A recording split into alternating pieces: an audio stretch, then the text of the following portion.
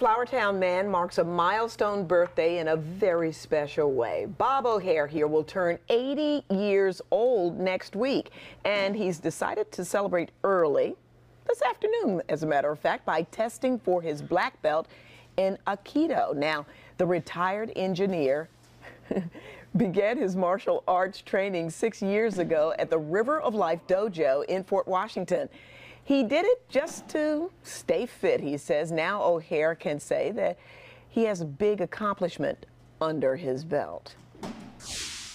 And for an 80 year old man to accomplish this, I think that's, that's quite, quite an accomplishment. I'm proud of myself.